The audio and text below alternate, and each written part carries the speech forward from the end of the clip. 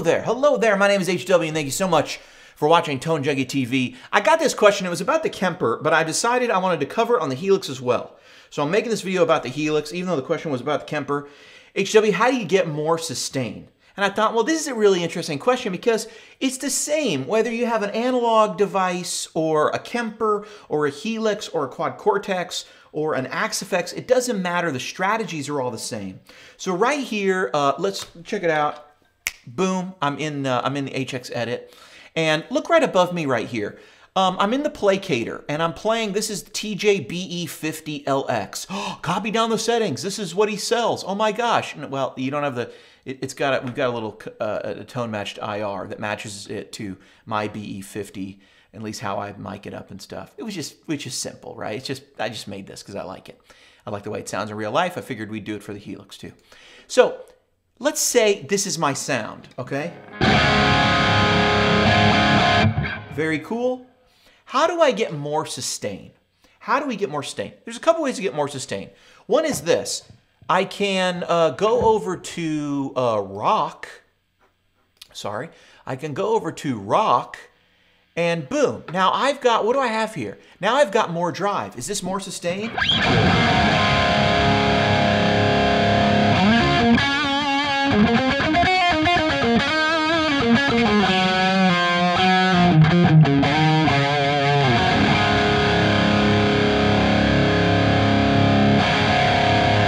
I would say that that is more sustain. I really would.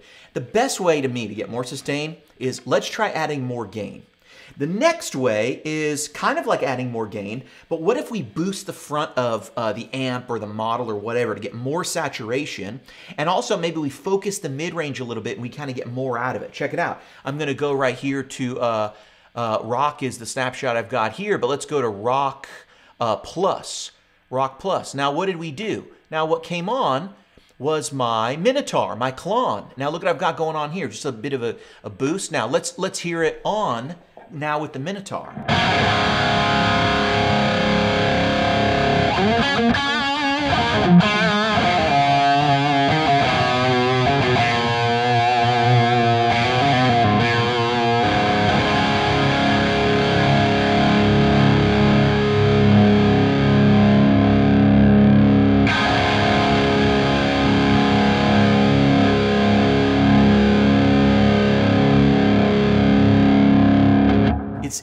Same like sustain. It, it, it'll go on for days.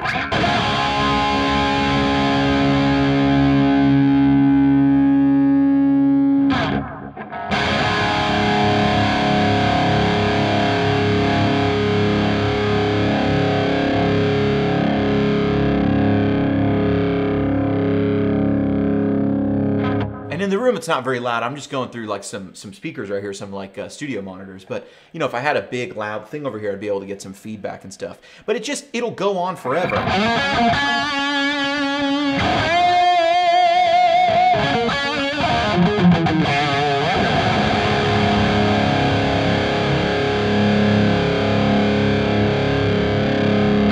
The reason it's going on forever is because the guitar is, of course, ringing out.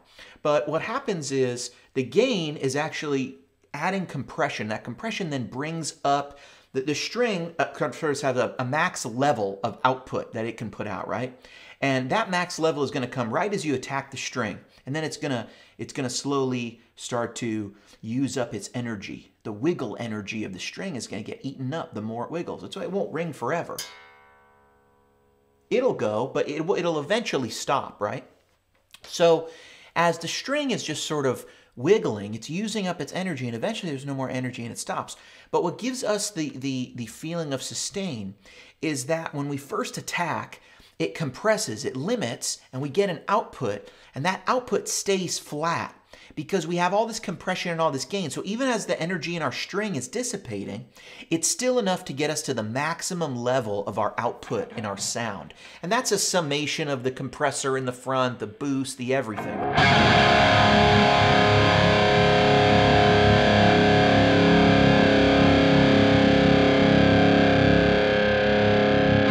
and then and then and then it starts to you know come fall off but we get this long feeling of just a sustained you know, sustained kind of note just ringing out at the same pitch forever, like you're holding a note on a synth or a keyboard, you know? It's very saturated.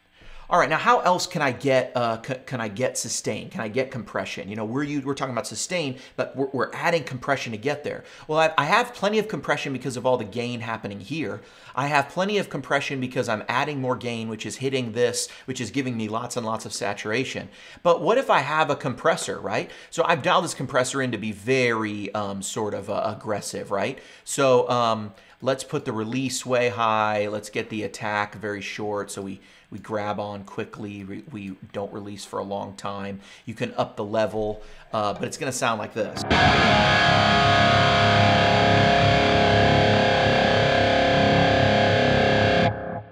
Let's take it off, see what it's doing. I mean, we've got a ton with it or without it.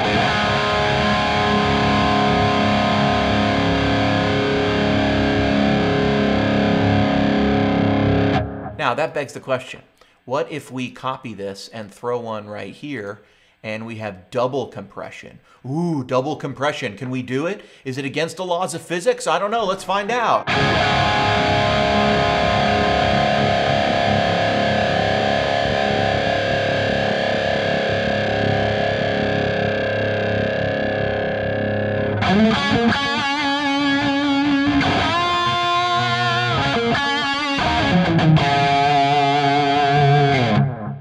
I mean, that feels that feels pretty good.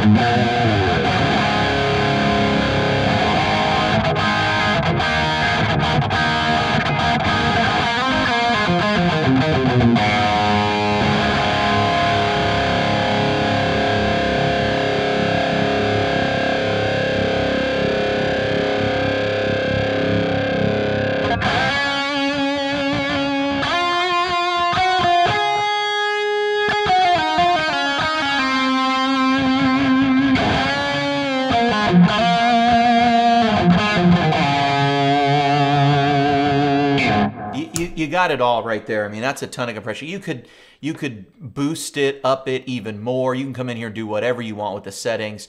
Um, I kind of prefer uh, like the two to one ratio and um, and a quick attack, long release.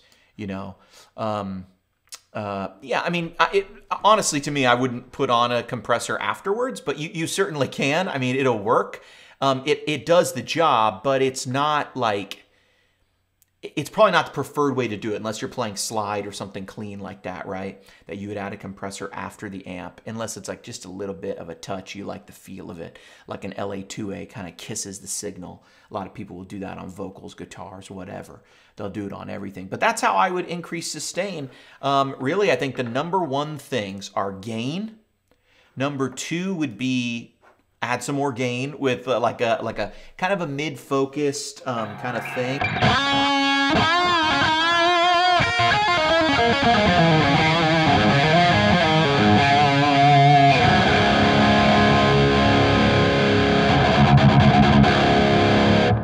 And uh, after that, I mean, you can toy with the compressors, but I really actually feel like it's all it's all right there. And then, of course, once you get it really going, you know, you can you can add in all your crazy stuff, and uh, you can get your your big lead sounds. And why not? And hey, why don't we turn on the tube screamer? And uh, I've been HW. That's how I would get more sustain. Let's go.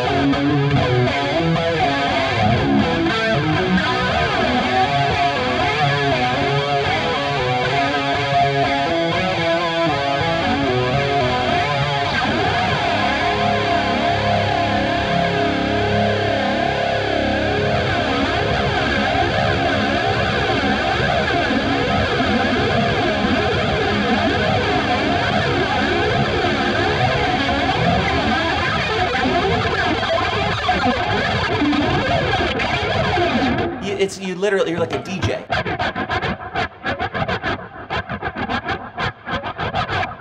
Ridiculous.